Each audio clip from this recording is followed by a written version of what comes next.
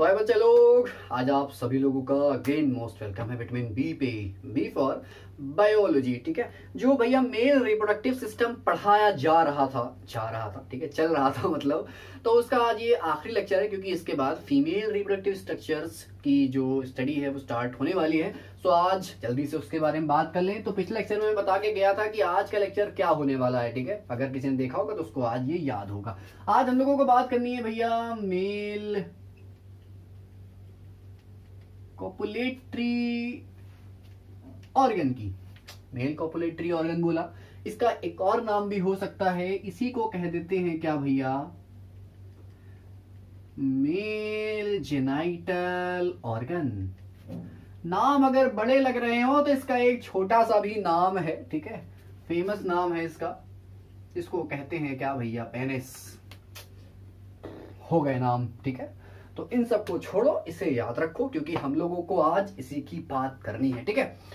अब बात करने के लिए जो इसकी एनाटॉमी हम लोगों को या इसकी फिजियोलॉजी की बात करनी है तो उसके लिए डायग्राम तो रिक्वायर्ड होता ही है। तो जल्दी से प्रकट करो पेनिस के डायग्राम को।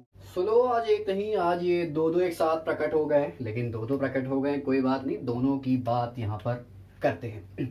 सो so, देखें भैया पहला जो सेक्शन यहाँ पर बनाया है it is a transfer section of penis ये क्या है? ट्रांसफ़र सेक्शन है, जो मैंने यहाँ पर बना दिया प्रकट करा दिया।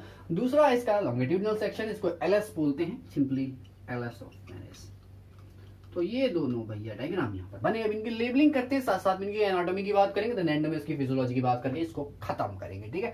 देखो भैया, सबसे ऊपर क्या होता है? सबसे ऊपर तो होती है स्किन कवरिंग कोई भी बाहर की चीज़ होगी, इस पे क्या होगा? पहले स्किन की कवरिंग होगी। अब स्किन की कवरिंग अगर हमने ध्यान दी तो जरा देखो यहाँ पर ये कुछ कुछ लोग तो इसको इमोजी समझ रहे होंगे तो बच्चा, ये कोई हंसता हुआ इमोजी नहीं है, ठीक है? ये पेनिस का सेक्शन मैंने बनाया है यहाँ पर, देख लो भैया। तो अब लग रहा होगा किसी को। तो ध्यान उस पर ना दो, ठीक है? जरा देखो, यहाँ पर एक चीज़ मैं बताने जा रहा हूँ। देखो सिंपल सी बात है। ये जो स्ट्रक्चर्स बने हैं, ये कहलाते हैं कॉर्ड्स ऑफ़ पेनिस क्या कहलाते हैं? कॉर्ड्स ऑफ़ पेनिस ये कुछ इस तरह से होता है कि ऊपर की तरफ़ ये दो कॉर्ड्स होती हैं, ठीक है? नीचे की तरफ़ एक ये कॉर्ड होती है। तो वही मैंने बनाया जो आपको हंसता खिलखिलाता हुआ इमोजी सा लग रहा है, ठीक है? दांत टूटा हुआ उसका। तो फ़िलहाल ऐसा वो कुछ नहीं है, ठीक है? दूसरा देखते हैं इन कॉर्ड का नाम क्या क्या होता है। तो ऊपर की जो ये दो कॉर्ड्स होती है, इनका नाम होता है कॉर्पोरा कॉर्नोसा क्या होता है? कॉर्पोरा कवर्नोसा तो ऊपर की जो दो कॉर्ड है, उनका नाम लग गया क्या? कॉर्पोरा कवर्नोसा और नीचे की जो कॉर्ड है, इसका नाम है कॉर्पस स्पॉन्जियोसम। नाम देख लीजिए भैया। क्या है? Corpus spongiosum. ठीक है? तो कॉर्पोरा कवर्नोसा कॉर्पस स्पॉन्जियोसम। ये दोनों बातें हो गई। अब जरा देखो कि ये यहाँ पर होता ये है कि अगर पेनिस है तो इसकी कुछ ना कुछ अपनी मसल्स भी होती है कॉन्ट्रेक्शन रिलैक्सेशन मतलब इजेक्शन इजेकुलेशन ठीक है? तो सारी बातें जब होती है वहाँ पर तो उसमें मसल्स के कॉन्ट्रेक्शन रिलैक्सेशन से भी इसकी फिजियोलॉजी मेंटेन होती है। तो यहाँ पर जो ये मसल्स बनी है, ये कहलाती है क्या? पीनियल मसल्स क्या कहलाती हैं? पिनियल मसल्स तो पिनियल मसल्स ही जो मैंने यहाँ पर पूरी बना रखी है। अब जरा देखो कि जो ये ऊपर की जो दो कॉर्ड का नाम है कॉर्पोरा कवर्नोसा। इन कॉर्पोरा कवर्नोसा के बीच में एक यहाँ पर ये सेगमेंट देखने को मिल रहा है। ये सेगमेंट नहीं रियलिटी में ये एक सेप्टम है, एक दीवार है जो कि इन दोनों कॉर्ड या इन दोनों कॉर्पोरा कवर्नोसा को अलग कर देती है। और इसी को बोल देते हैं क्या? सेप्टम पेनिस क्या बोल देते हैं? सेप्टम पेनिस सेप्टम पेनिस ठीक है? तो इतनी बात आप लोगों को समझ में आ गई कि ऑल ओवर कितनी कॉल्ड होती है? तीन कॉल्ड होती है उसमें से दो होती है कॉर्पोरा कवर्नोसा और एक होती है क्या? कॉर्पस स्पॉन्जियोसम ठीक है? अब जरा देखो कि जो ये कॉर्पस स्पॉन्जियोसम होती है, ठीक है? अभी हमने सेक्शन आपको सामने से दिखाया ऐसे, ठीक है? मतलब इसको काटा था इस तरह से दिखा अब जब आपको सेक्शन ऐसे दिखाएँगे तो आप इसको इस तरह से बीच से काटोगे तो आपको आधा नज़र आएगा, ठीक है?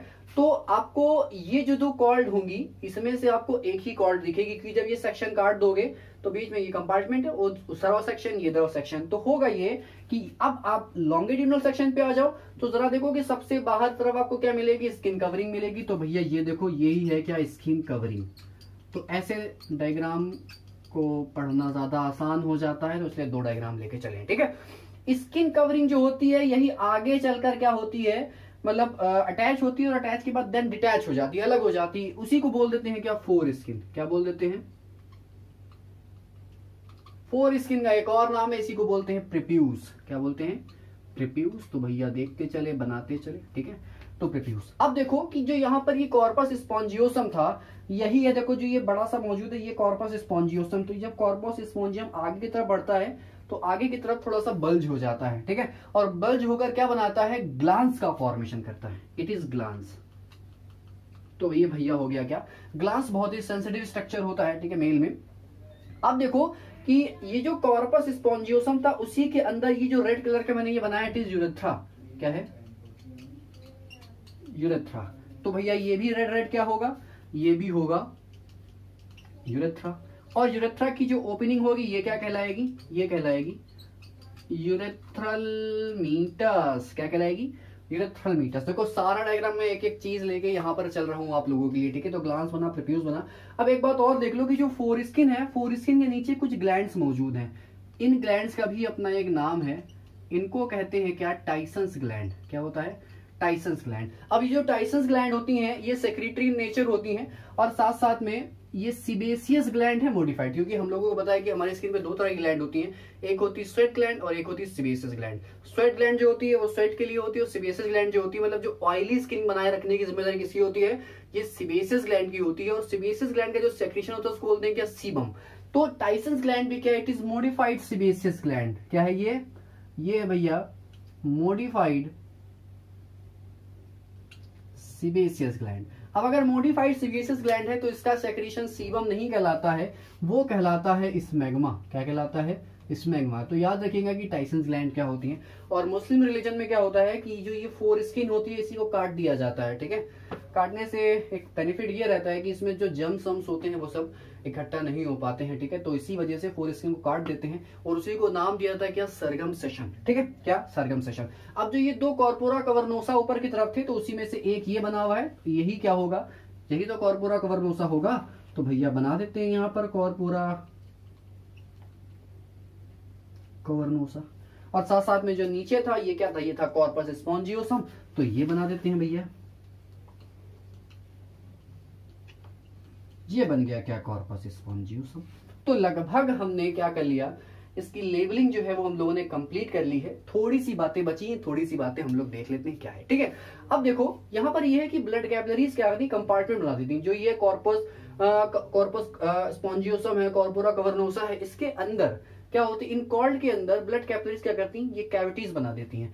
तो इन ब्लड कैपलरीज से जो बने हुए सेप्टम्स होते हैं, ये कहलाते हैं ट्रेबेकुली क्या कहलाते हैं? ट्रेबेकुली कुछ यहाँ पर से मैं रफ कर देता हूँ, ठीक है, क्योंकि डायग्राम हमारा तो इधर वाले चलो बना लेते हैं। ये जो है, ये जो है, ये कहलाती है ट्रेबेकुली और ट्रेबेकुली बनाने के बाद जो अब यहाँ पर कैविटीज बच रही हैं, इन्हीं कैविटीज को नाम देते हैं क्या? साइनसेस अब चाहे वो यहाँ की हो, चाहे यहाँ की हो, क्योंकि ट्रेवेकुली तो ये भी है तो इसको भी नाम दे देते हैं ट्रेवेकुली अब जो ये कैविटी यहाँ पर बची और ये कैविटी यहाँ पर बची, दोनों को कह देते हैं क्या? साइनसेस क्या कह देते हैं? साइनेसिस अब साइनेसिस की अपनी भी कहानी है कि यहाँ पर क्या होता है कि जब ब्लड की फिलिंग हो जाती है तो ये इरेक्ट हो जाता है पेनिस ठीक है? तो पेनिस इरेक्ट जब होगा तो क्यों होगा? क्योंकि यहाँ पर ब्लड की फिलिंग हो जाती है। इसी वजह से जो ये पेनिस है, इसको एक हाइड्रोस्टैटिक स्केलेटन का नाम दे दिया जाता है भैया, ठीक है? तो जो यहाँ पर सिंपली जो ये कॉल्ड थी उसको डिवाइड करने का काम किसने किया? वो डिवाइड करी किसने? ट्रावेकुली ने। ट्रावेकुली ने जब इसको डिवाइड कर तो यहाँ पर कैविटीज बनी, इनको क्या कहा गया? इनको कहा गया साइनेसिस तो जिसको भी इसका जल्दी से यार लेना है डायग्राम ले लो उसको जल्दी से, ठीक है? चलते हैं आगे, क्योंकि थोड़ी सी बात हमको इसकी फिजियोलॉजी की भी करनी है। देख लेते हैं। फ़िलहाल तो समझा दिया मैंने। तो अभी मैंने यहाँ पर कहा था कि जो साइनसेस होते हैं, वो ब्लड से भर जाते हैं। तो सिंपली बात हमें पता है कि जो साइनसेस यहाँ पर बन रहे थे मतलब जो ये भी हम लोग ने कॉर्पोरा कवर्नोसा कॉर्पोर स्पॉन्जियसम बनाया था तो उसमें भैया ये ट्रेवेकुली थी, और ट्रेवेकुली की वजह से ये क्या बन गए थे? ये बन गए थे क्या? साइनसेस तो साइनसेस जो होते हैं, ये क्या होते हैं? ये ब्लड से फिल्ड हो जाते हैं, ठीक है? फिल्ड विद ब्लड लिख देते हैं यहाँ पर। अब जब ये ब्लड से फिल्ड हो जाएगा तो होगा ये कि जो नॉर्मल फॉर्म में अभी पेनिस है, ठीक है? ये मेल कॉपुलेटरी ऑर्गन है, ये क्या हो जाएगा? ये इरेक्ट हो जाएगा, ठीक है? तो जरा इसकी हम लोग बात कर लेते हैं कि जो इजेक्शन है इरेक्शन है, वो क्या चीज़ होती है? तो बात कर लेते हैं इरेक्शन तो इरेक्शन समझ गए होगा कि अभी यहाँ पर ये रिलैक्स फ़ेज़ में आ गया है। मतलब मसल्स जो हुई हैं, वो रिलैक्स हो गई हैं। तो रिलैक्स होने की वजह से जो यहाँ पर मेल कॉपुलेटरी ऑर्गन है, ये स्ट्रेट हो गया है, ठीक है? तो होता यह है कि इरेक्शन फॉलोड होता है। इरेक्शन के बाद इजेक्शन होता है। क्या होता है? इजेक्शन और इजेक्शन जो है, ये क्या होगा? अभी जो स्ट्रेट हुआ था मतलब इरेक्शन मतलब होता स्ट्रेट हुआ था तो स्ट्रेट के बाद ये इजेक्शन जो होगा, ये वापस नॉर्मल कंडीशन में आ जाता है। तो इसीलिए इसको बोलते हैं कि ये क्या है? ये इसकी नॉर्मल कंडीशन और नॉर्मल कंडीशन में जो पिनियल मसल्स होती हैं, वो कॉन्ट्रैक्ट हो जाती हैं। यही वजह है कि साइज़ छोटा हो जाता है। तो इरेक्शन जो है उससे इजेक्शन भी होता है, लेकिन बीच बीच में कभी कभी ऐसा भी होता है कि कभी कभी erection is followed by ejaculation क्या है? और इजेकुलेशन के बाद क्या होता है? ये इजेक्शन होता है। ठीक है? तो इरेक्शन से इजेक्शन भी होता है और इरेक्शन से कभी कभी इजेकुलेशन इजेकुलेशन के बाद इजेक्शन होता है। तो इजेकुलेशन का मतलब समझते होगे कि फोर्सफुल डिस्चार्ज ऑफ़ सीमेन क्या कहलाता है? यही कहलाता है इजेकुलेशन देन इजेकुलेशन के बाद वापस से क्या हो जाता है? इजेक्शन हो जाता है। ठीक है तो सीधा सा कहते हैं कि जब इरेक्शन होता है तो साइनसेस जो होती हैं, वो ब्लड से भर जाती हैं पिनियल मसल्स जो थी, वो रिलैक्स कर जाती हैं तो पेनिस का साइज़ क्या होता है? वो बड़ा हो जाता है। और ये जो कंडीशन है मतलब जो आप इरेक्शन देख रहे हो कि इरेक्शन किसके कंट्रोल में हो रहा है तो इरेक्शन जो होता है, ये पीएनएस के कंट्रोल में होता है। किसके कंट्रोल में होता है? पीएनएस। आप समझ रहे हो, ये पीएनएस क्या है? तो भैया, ये पैरासिम्पैथेटिक न्यूरल सिस्टम है। क्या है? It is parasympathetic neural system parasympathetic neural system ठीक है? तो पैरासिम्पैथिक सिस्टम के कंट्रोल में कौन था? ये भैया इरेक्शन था, ठीक है? लेकिन जब मतलब इरेक्ट कंडीशन में पेनिस होता है तो इरेक्ट कंडीशन में ये क्या करेगा? आपको लगेगा कि जैसे इसके अंदर कोई स्केल्टन मौजूद है, लेकिन रियलिटी में उसके अंदर कोई स्केल्टन अभी हम लोगों ने देखा कि उसमें कोई बोन वोन जैसी चीज़ नहीं थी, लेकिन तब भी वो इरेक्ट फॉर्म में तो इरेक्ट फॉर्म में बोला जाता है मतलब ये पेनिस जो होता है, ये किसकी तरह काम करता है? एक हाइड्रोस्टैटिक स्केल्टन की तरह।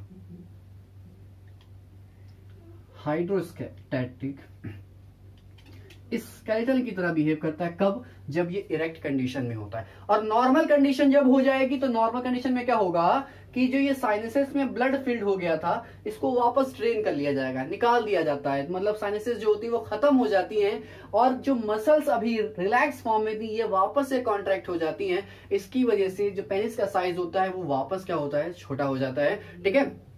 तो हमने अभी बताया कि कभी कभी जो ये इरेक्शन था, ये फॉलोड होता है किससे? इजेकुलेशन देन इजेक्शन लेकिन नॉर्मल कंडीशन में इरेक्शन के बाद इजेक्शन भी होता है। समझ में आ गया? और इजेकुलेशन की डेफिनेशन मैंने बता दी यहाँ पर। और एक बात और बता दें कि जो इजेक्शन और इजेकुलेशन है इजेक्शन और इजेकुलेशन है, ये किसके कंट्रोल में होता है? ये पीएनएस के कंट्रोल में था और ये जो है, ये एस एन एस के कंट्रोल में। एस एन एस मतलब होता है sympathetic neural system sympathetic neural system तो समझ में आ गया होगा कि भैया इजेक्शन और इजेकुलेशन किसके कंट्रोल में है? सिंपैथेटिक न्यूरल सिस्टम के। और जो यहाँ पर इरेक्शन है, ये पैरासिम्पैथेटिक न्यूरल सिस्टम के कंट्रोल में है। तो ये जो फिजियोलॉजी है, ये ब्रेन ही कंट्रोल कर रहा है। मतलब इरेक्शन हो रहा इजेक्शन हो रहा इजेकुलेशन हो रहा, ये हमारा ब्रेन ही कंट्रोल कर रहा है, ठीक है?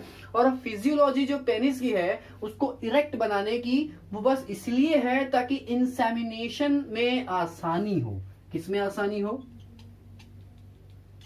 अब नया टर्म आ गया इंसेमिनेशन मैंने बोला कि पेनिस को इरेक्ट बनाने के लिए भी, ठीक है, या पेनिस को जो इरेक्ट बनाया गया है, ये उसकी फिजियोलॉजी का एक हिस्सा है, और होता यह है कि उससे इंसेमिनेशन में हेल्प हो जाती है। अब इंसेमिनेशन का मतलब क्या होता है? इंसेमिनेशन का मतलब होता है transfer of semen into vagina तो वेजाइना में सीमेन को ट्रांसफ़र कराना क्या कहलाता है? इंसेमिनेशन ठीक है?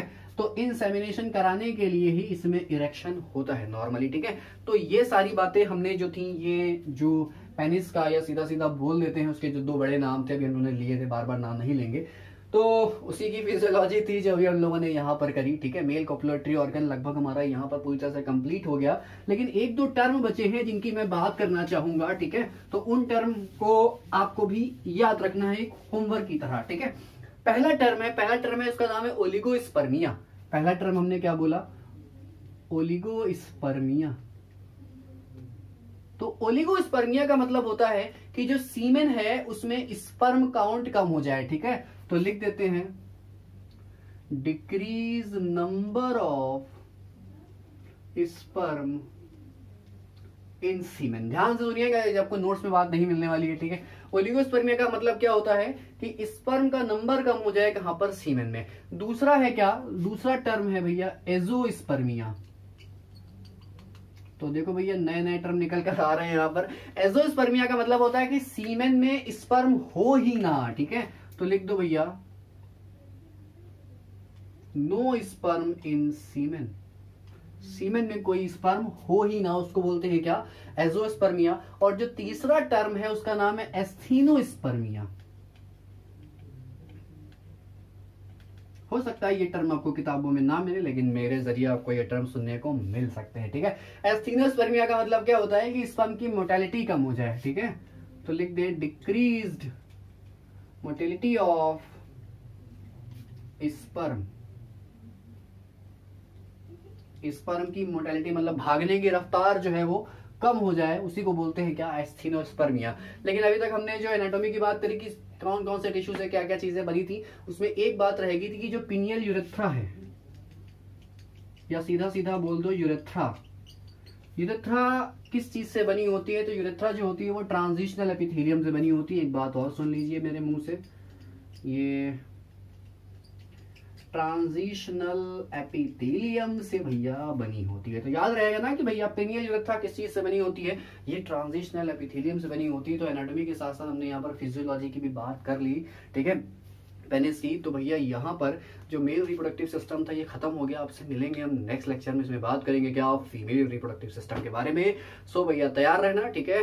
जैसे लेक्चर चल रहा है सीरियल वाइज एक एक स्टेप हम लोग बढ़ाते हुए चलेंगे, ठीक है? सो मिलेंगे आपसे नेक्स्ट लेक्चर में। Till then bye bye